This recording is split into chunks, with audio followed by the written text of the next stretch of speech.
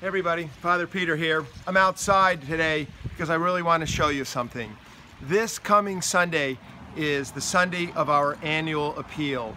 And the theme of our annual appeal is make love your aim. It comes from Paul's first letter to the Corinthians.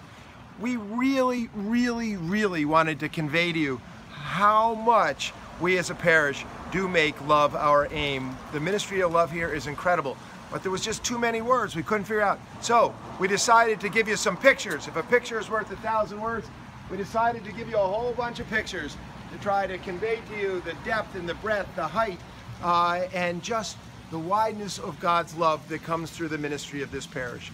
On this Sunday, we are going to be having an annual appeal day. The 8 o'clock, the 9 o'clock hour is to make love your aim with your checkbook. Come for a great conversation about that. And when you come, please pick up one of these red envelopes, one of these packets. We're going to be handing them out.